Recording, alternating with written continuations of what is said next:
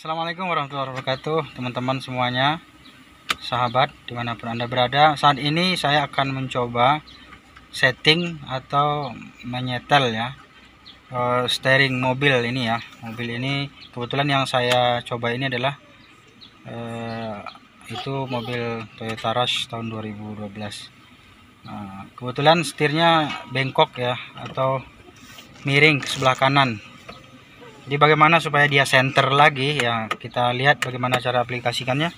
Aplikasikannya uh, kita cukup modalnya kunci Inggris saja ya guys. Kunci Inggris ya. Dan kemudian kita akan setel uh, tirot dan long tirotnya dengan menggunakan cuma satu satu kunci yaitu kunci Inggris.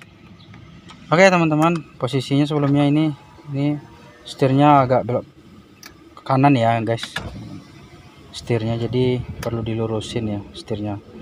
Bagaimana caranya? Kita akan setting ya di bawahnya tirot dan long tirotnya.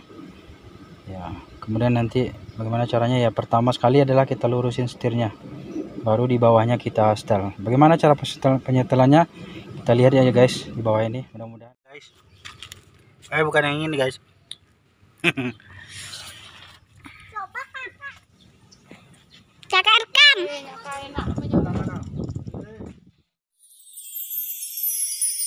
Mm-hmm.